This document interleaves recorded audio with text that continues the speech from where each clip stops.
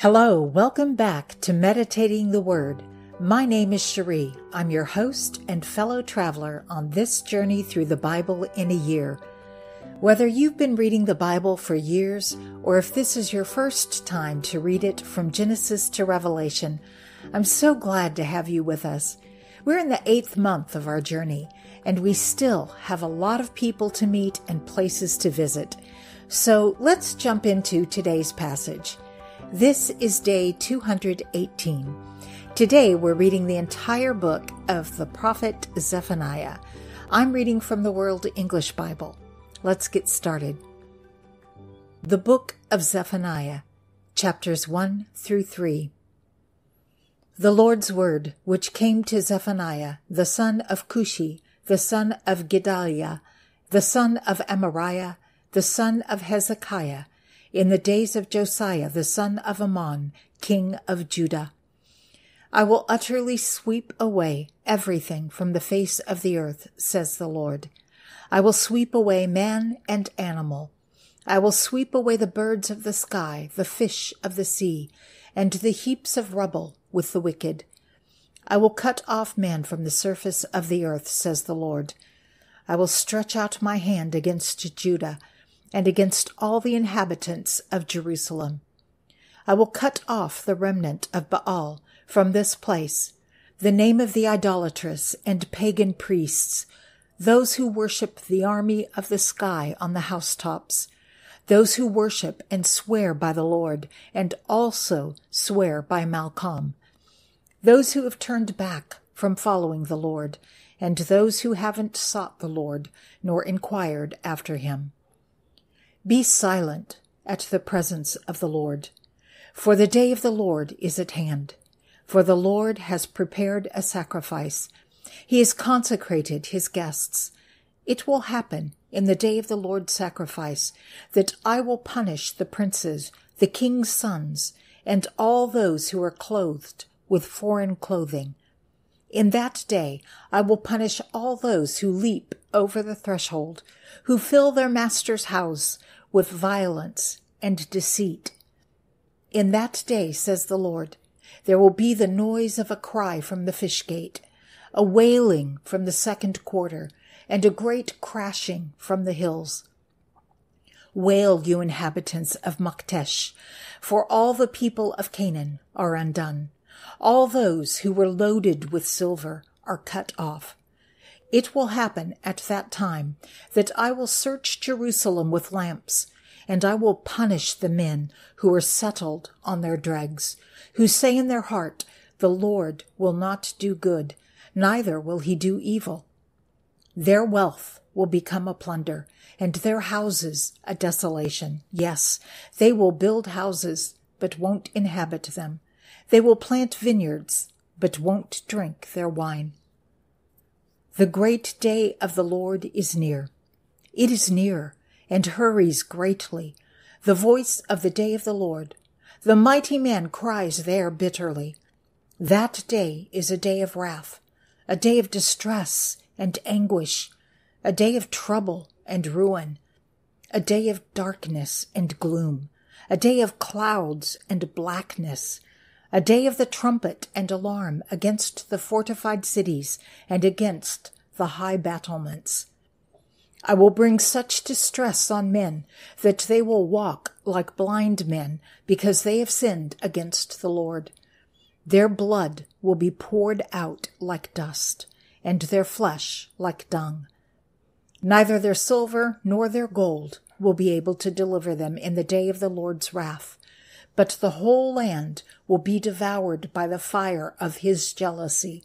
For he will make an end, yes, a terrible end, of all those who dwell in the land. Gather yourselves together, yes, gather together, you nation that has no shame, before the appointed time when the day passes as the chaff, before the fierce anger of the Lord comes on you, before the day of the Lord's anger comes on you. Seek the Lord, all you humble of the land, who have kept his ordinances. Seek righteousness, seek humility. It may be that you will be hidden in the day of the Lord's anger. For Gaza will be forsaken, and Ashkelon a desolation. They will drive out Ashdod at noonday, and Ekron will be rooted up. Woe to the inhabitants of the sea coast, the nation of the Cherethites. The Lord's word is against you, Canaan, the land of the Philistines. I will destroy you until there is no inhabitant. The sea coast will be pastures, with cottages for shepherds and folds for flocks. The coast will be for the remnant of the house of Judah. They will find pasture. In the houses of Ashkelon they will lie down in the evening, for the Lord their God will visit them and restore them. I have heard the reproach of Moab and the insults of the children of Ammon, with which they have reproached my people and magnified themselves against their border. Therefore, as I live, says the Lord of armies, the God of Israel, surely Moab will be as Sodom, and the children of Ammon as Gomorrah, a possession of nettles and salt pits, and a perpetual desolation. The remnant of my people will plunder them, and the survivors of my nation will inherit them. This they will have for their pride, because they have reproached and magnified themselves against the people of the Lord of armies. The Lord will be awesome to them, for he will famish all the gods of the land. Men will worship him, everyone from his place, even all the shores of the nations. You Cushites also, you will be killed by my sword.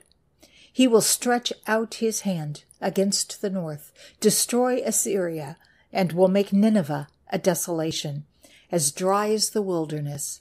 Herds will lie down in the middle of her, all kinds of animals. Both the pelican and the porcupine will lodge in its capitals. Their calls will echo through the windows. Desolation will be in the thresholds, for he has laid bare the cedar beams. This is the joyous city that lived carelessly, that said in her heart, I am, and there is no one besides me. How she is become a desolation, a place for animals to lie down in. Everyone who passes by her will hiss and shake their fists. Woe to her who is rebellious and polluted, the oppressing city. She didn't obey the voice. She didn't receive correction. She didn't trust in the Lord. She didn't draw near to her God. Her princes within her are roaring lions. Her judges are evening wolves. They leave nothing until the next day. Her prophets are arrogant and treacherous people. Her priests have profaned the sanctuary. They have done violence to the law. The Lord within her is righteous. He will do no wrong. Every morning he brings his justice to light. He doesn't fail, but the unjust know no shame. I have cut off nations. Their battlements are desolate. I have made their streets waste so that no one passes by. Their cities are destroyed so that there is no man, so that there is no inhabitant. I said, just fear me. Receive correction so that her dwelling won't be cut off, according to all that I have appointed concerning her. But they rose early and corrupted all their doings. Therefore, wait for me, says the Lord, until the day that I rise up to the prey. For my determination is to gather the nations, that I may assemble the kingdoms to pour on them my indignation, even all my fierce anger, for all the earth will be devoured with the fire of my jealousy. For then I will purify the lips of the people, that they may all call on the Lord's name, to serve him shoulder to shoulder. From beyond the rivers of Cush, my worshippers, even the daughter of my dispersed people, will bring my offering. In that day you will not be disappointed for all your doings in which you have transgressed against me. For then I will take away out from among you your proudly exulting ones, and you will no more be arrogant in my holy mountain. But I will leave among you an afflicted and poor people, and they will take refuge in the Lord's name. The remnant of Israel will not do iniquity nor speak lies, neither will a deceitful tongue be found in their mouth. For they will feed and lie down, and no one will make them afraid. Sing, daughter of Zion. Shout, Israel. Be glad and rejoice with all your heart, daughter of Jerusalem. The Lord has taken away your judgments. He has thrown out your enemy. The King of Israel, the Lord, is among you. You will not be afraid of evil any more. In that day it will be said to Jerusalem, Don't be afraid, Zion. Don't let your hands be weak. The Lord your God is among you, a mighty one who will save. He will rejoice over you with joy. He will calm you in his love. He will rejoice over you with singing. I will remove those who grieve about the appointed feasts from you. They are a burden and a reproach to you. Behold, at that time I will deal with all those who afflict you, and I will save those who are lame, and gather those who were driven away. I will give them praise and honor, whose shame has been in all the earth. At that time I will bring you in, and at that time I will gather you. For I will give you honor and praise among all the peoples of the earth when I restore your fortunes before your very eyes, says the Lord.